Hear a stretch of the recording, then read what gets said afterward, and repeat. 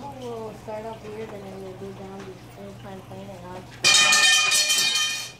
and onto the crowbar, which will hit this PVC tube and it will knock that into this um, um tube. The marble will fall in here, and then it will go inside the bucket, and then the bucket will go up. And then when the marble hits the pipe, it will go go down, and it will hit the tape. And then when the and then when the pipe and the tape hit the soccer ball, it will trigger both the bucket and the wooden um, brick sort of a thing, and then it will hit the spaceship laser sword.